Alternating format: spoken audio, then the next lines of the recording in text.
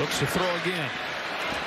First read taken away, so he runs and slides and gets popped.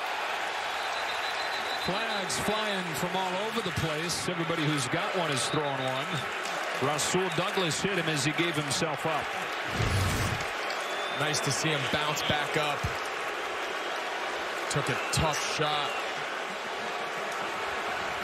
Let's see here. Yeah.